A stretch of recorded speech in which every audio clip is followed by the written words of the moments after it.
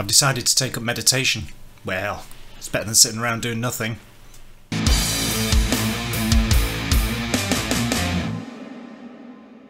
Hi, welcome to Pictures, Noise and Words. I'm Hedgy, and this is, he says looking down at the screen, Angelus Apatrida? Could be. Again, mangle names, there we go. Angelus Apatrida. Someone will correct me if I've got that wrong, I'm sure. Um, this is a song called Sharpen the Guillotine. I have absolutely no idea who Angelus Apatrida are. I believe they're from Spain, and I believe that because Keith Vincent said they were from Spain seven months ago. you see, he asked for something seven months ago, um, and here it is now. To be honest, he first asked for it seven months ago, then he asked for it six months ago. The band, not this song necessarily. Um, and then he asked for it again four months ago, and then he asked for it again five days ago. And to be honest, I I didn't. It's only that I've done a search in my comments that I can see all of those things. I don't remember all of those. Sorry, Keith. But Keith, here we are. Look, Angelus Apatrida, just for you and for anyone else who wants to hear it. Um, I haven't heard a single single note of this. I haven't even checked to see if the video, I'm just rolling the dice here. Um, it's queued up on YouTube right at the beginning, six minutes long. I'm just going to play it and we're just going to find out what's, what's what, basically. So, uh, what's what? So it's from this album, Cabaret de la Guillotine. Um, about a guillotine, I'm guessing. There's some heads in the basket, and one of them is a pig. What did the pig do? Consorting with people worse than pigs. Is that is this where I make some kind of political statement, do you think? no. Right. Moving on. Let's just play it and see what we get. Uh, like I say, I do not know. I think this is a lyric video. It is a lyric video, it says in the description, lyric video. So this is Sharpen the Guillotine, it's a lyric video. Apart from that, I don't know what it is.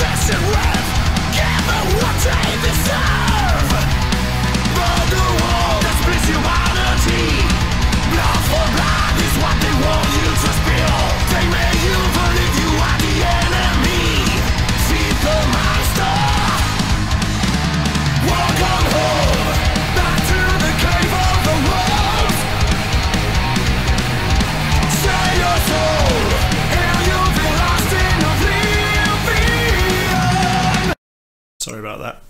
I do that every now and again. Um, right, okay. So metal then, basically straightforward metal. Fast metal, not thrash metal. I, right at the beginning I thought, oh, it's thrash metal, but no, I don't think it is. Um, his voice. If I didn't know they were from Spain, I would not guess they were from Spain. In fact, I think I would probably guess that they were English. Because he reminds me of certain bands in England. His voice. Um, I have no reason to doubt them whatsoever. It's just that sometimes accents disappear when you sing. Or quite often accents disappear when you sing. You know, you, you hear someone sing and then when they talk you're like, crikey. You know, look at um, look at Rob Halford. You know, it's total brummy. Um, that's a person from Birmingham if you're not if you're from another country and don't know what that means. Um, where there's got quite a strong Birmingham accent, but when he sings, most of the time you wouldn't know. And, and, and, and that seems to be what's going on here. He's singing, and I can just hear, I can I can hear an Englishman singing. I think, um, hmm, interesting. So yeah, we're in metal land basically, pure and simple.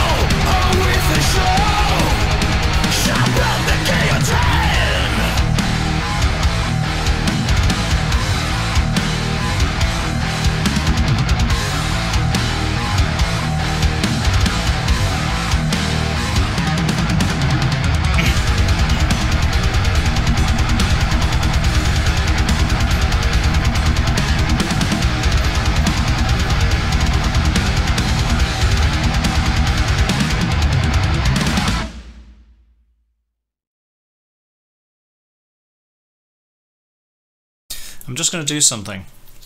This is going to be a bit weird. Let me just... Just going to rewind this a little. I don't know, somewhere random, like in the middle.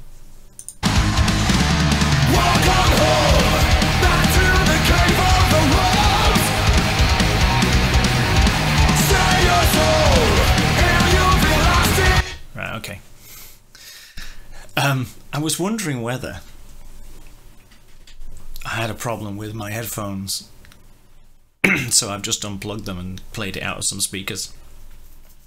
And uh, so I'm sure you could pick it up on there just to see, because if you pardon the pun, I wish the sound was sharper. I wish the quality was sharper. Do you see what I did there? Sharper guillotine with the. Nope, moving on. Uh, just wish I wish the sound was a bit cleaner. Um, you know what I'm like about production. I'm I'm a I'm getting worse. I think actually, I think I'm getting worse. But it's just you know it bounces along. There's loads of energy in it. There's nothing wrong with it whatsoever. Yeah, the sound could be cleaner, but you know what? So what? It's not like it's not like we're trying to pick out a harp somewhere in the mix, is it? You know, it's it's it is what it is. Um, there's definitely a thrash element in there without a doubt, but I'd still put it more into the metal, just just you know, metal genre than than thrash metal genre. His voice, of, uh, I was talking about earlier, but also it, it reminded me just every now and again of the singer from Soilwork, whose name I can't remember. No, gone. But you know what I mean.